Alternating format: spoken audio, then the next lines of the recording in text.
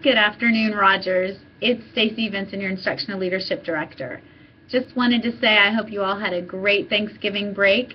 Hope you have returned rested, rejuvenated, and really ready to hit it hard these last few weeks of this first semester.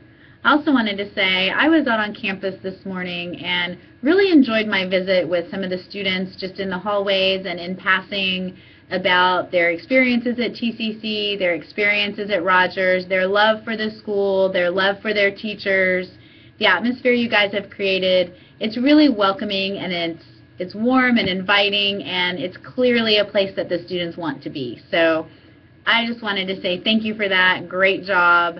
I also wanted to say I really found it interesting visiting with some of the teachers and getting to hear about some of the experiences and the good things and the academic results that teachers are seeing with the IPD and the structure at the junior high and also some of the exciting things that I think are happening in College Summit classes at the high school. So just wanted to say hi, just wanted to take a moment, let you know that I am frequently in your building and it's such a welcoming place to be and I just really enjoy every time when I get to go out there, the atmosphere you've created. So keep up the good work and hope you guys have a great rest of the week.